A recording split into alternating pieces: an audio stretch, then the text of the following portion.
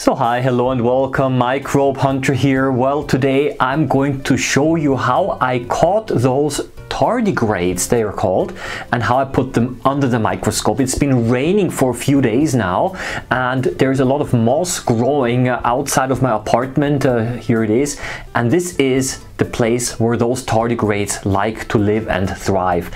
So I'm going to show you how I not only collected the moss but how I also caught those tardigrades uh, to put under the microscope. It's actually not that difficult. Tardigrades are animals. Uh, they have eight legs as a matter of fact uh, and of course they're microscopic. Um, and if you look very carefully then you can see even that those uh, tardigrades they have tiny microscopic uh, claws that they use to cling uh, to the leaves of the moss and I'm going to show you actually later a close-up um, of this. Yeah, there's moss growing all over the place um, and I chose to collect uh, some moss uh, from this rock over there. Now if uh, you are living in a slightly more drier region and if the moss uh, that you find is a little bit dry then I recommend that you still collect the moss and that you place it into a little bit of water for a few days because this actually causes the tardigrades uh, to, yeah, to revitalize and uh, come back to life again. This here actually shows a tardigrade in so-called dark field microscopy. It's called dark field because the tardigrade appears now bright on a dark background. And in the corner, if you look carefully, I've always uh, mentioned which type of microscopic technique I've used uh, to take a film and make a video of these tardigrades. Now, I've collected uh, samples from several different uh, locations um, and when you look carefully you can see that the moss uh, not always looks the same. Some moss is a little bit more green, others is a little bit more brownish. So what I've, what I've done is, is to make sure that I find enough of these tardigrades. I collected different types of moss and then I basically I was hoping for the best and as a matter of fact I was very lucky and I've always when I tried to put uh, the moss under the microscope I found at least two or three of these tardigrades so there were plenty of them in, in my samples. Now, depending on the type uh, of uh, microscopy that you're using, of course, uh, you can also see different organs um, of uh, the tardigrade. Um, and uh, of course, also the, the claws sometimes are better visible in one technique and in the other. So I encourage you that you try out and experiment a little bit. The tardigrades generally had a little problem moving along on the microscope slide because it's so smooth, so the claws really couldn't cling to anything. Um, so usually they had a big problems moving forward and they sometimes were slipping around and they were turning to the side and flipping to the side because they couldn't cling to anything solid. Um, but as soon as they found something solid, they immediately clung to it and didn't uh, want to let go. So quite uh, fascinating uh, to observe. You might also wonder now, what do they eat?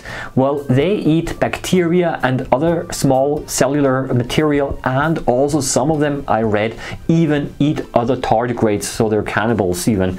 Um, you find everything in nature. Well in a moss sample uh, you can of course not only find tardigrades but many other water organisms. For example this here is a ciliate going around in a circle. It's only made of one cell.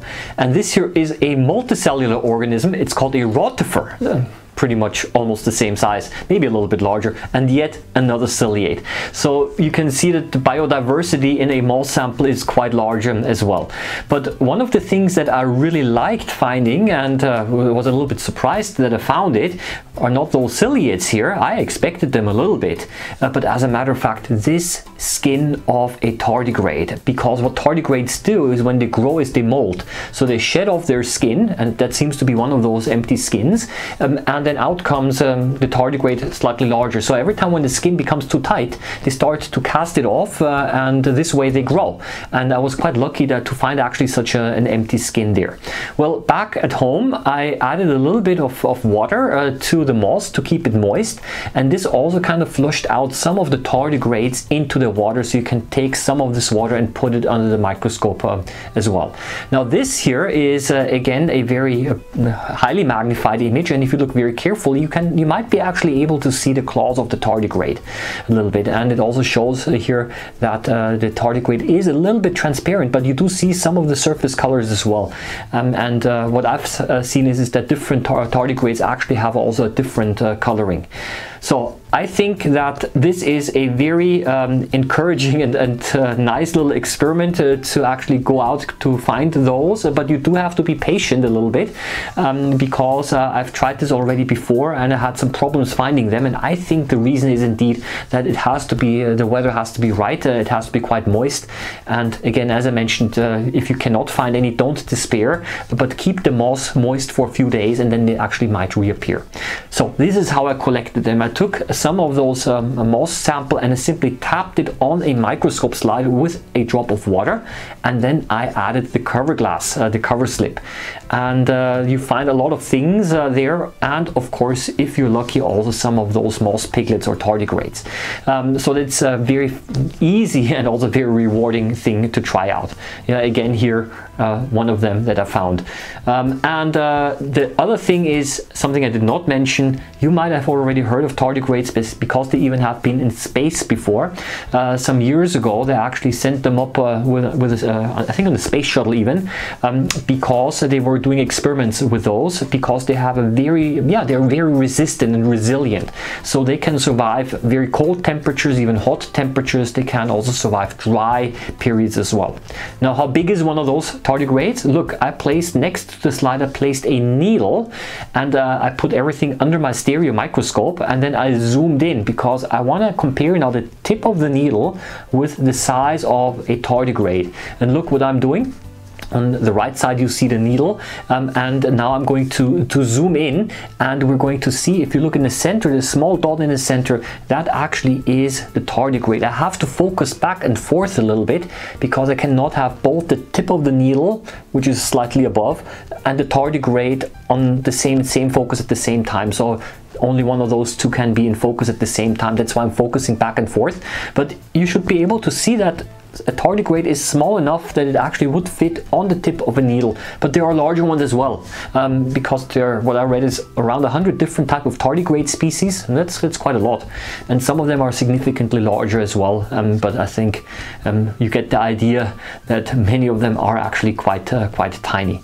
So I would use like to use this time now to of course thank my patron supporters. Uh, there is a list uh, of all of those uh, of you who are supporting me. I would like to thank you very much uh, for your support. If you are interested yourself in amateur microscopy, there are plenty of resources and links that I included down in the description. Um, among other things, also links uh, to my Amazon affiliate webshop where you can buy microscope and uh, accessories. Um, I also have a second YouTube channel which is microscopy related, uh, which is a little bit more theoretical where I do product reviews. You might also be interested in that. Please also visit that. Do consider subscribing if you're interested in, in videos like this yeah, and I think I'm just gonna leave it at that. Uh, I wish you all the best. Happy microbe hunting as always. Do subscribe to the channel if you like it. Check out my other videos. Happy microbe hunting, I think I already said that. See you around next time. Bye bye.